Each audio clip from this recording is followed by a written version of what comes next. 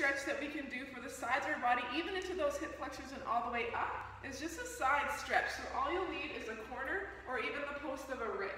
Okay, so take your feet, put them against the rig post so my foot's um, touching the bottom of the post. I'm gonna bring one foot in. Pretend that you're on a sailboat with a life jacket, but then reach the arm up and over and let the hip fall out. So it's a very passive stretch. Okay, you can kind of swing a little bit. Okay. And stay there for about 20 to 30 seconds at a time. It's going to open up all the musculature in the side of our waist, which often can get neglected. Enjoy.